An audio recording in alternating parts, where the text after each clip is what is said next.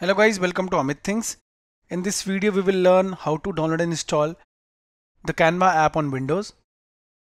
It's very easy. At first you go to the web browser. On Google type Microsoft Apps and uh, press enter. Press enter. On pressing enter the official website is visible apps.microsoft.com. Click on it on clicking here in the official website can be seen. Whichever app you want to search, just type here.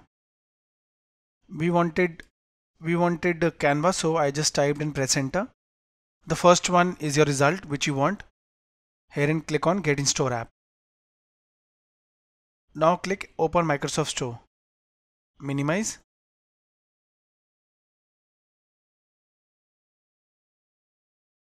Herein you can see it is provided by official Canva. So I just need to click on install. It will first download then install automatically.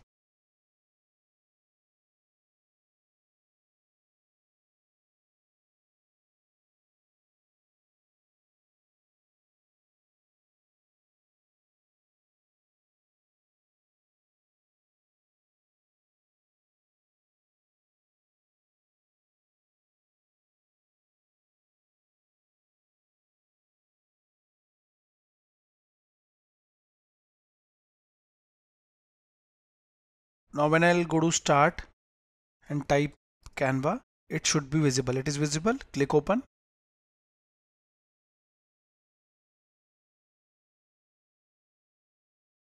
here Herein you can see you need to click on continue in the browser so that it will go to the browser web application and will log in you and come back here. It's written here.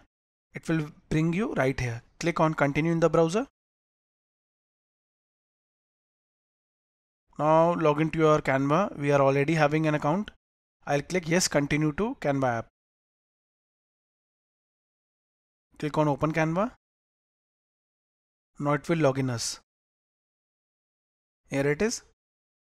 We are in our Canva account on Windows, not the web browser.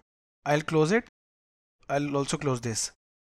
You can directly click on the shortcut or you can go to start and type Canva if you want to open it again in future. Click open.